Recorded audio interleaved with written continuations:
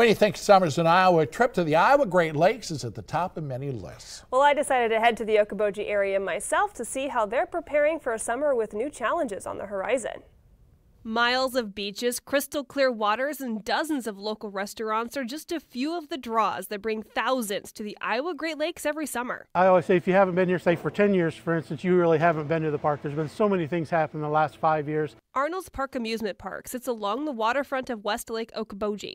Its historic wooden roller coaster and iconic lakefront feature, much like the cabins of Fillenwarth Beach. So we have 96 different units here at Fillenwarth Beach. Um, most of them are right on the waterfront. Like the rest of the world, the Iowa Great Lakes region was also impacted by COVID 19. And now, with inflation and workforce challenges, this summer could throw another curveball. Workforce has always been a challenge for us in the Iowa Great Lakes area just because we do have so many seasonal businesses. But because of that, we um, have we've been able to kind of face this issue head on for so many years. The summer season here in Okoboji isn't just for Iowans and those here that live in the Iowa Great Lakes. They bring in students from across the world to get a taste of Iowa culture and experience a summer of fun they will never forget. And we also are really fortunate to have a number of J1 visa students join us in the Iowa Great Lakes area to experience what this area is like and what the United States is like. These students are not only coming to work, but experience summers in Iowa, bringing a little bit of their own culture and traditions along too being exposed to all the different cultures that we are because of that program has really helped us grow, I think.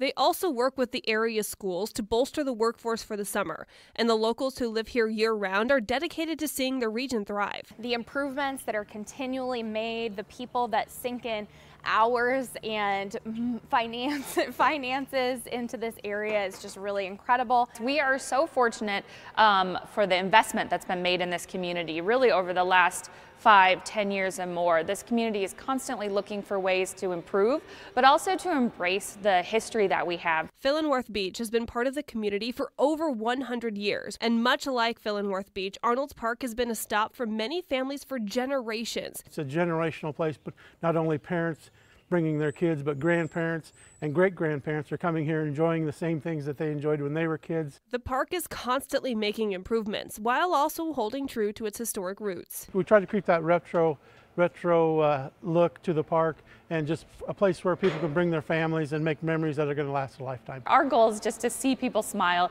This is such a family friendly destination and it has been for generations and so like I said our goal is to see people having a great time making memories and smiling and enjoying everything the area has to offer. From Arnolds Park to Fillenwarth Beach and everything in between, the Iowa Great Lakes community takes all the challenges head on to provide the best possible experience to anyone who stops by. 2020 presented a huge challenge for a lot of us, and we were able to kind of reimagine the way that we do business in this area. And it really allowed people um, the opportunity to still get out um, and still enjoy the Iowa Great Lakes even through the pandemic. And I'm just really proud of this community and their ability to adapt to those changes. And it's, it's just been really wonderful working with business partners outside of the resort. And I'm really appreciative to all of those people. Well, Arnolds Park Amusement Park officially opened for the season this weekend.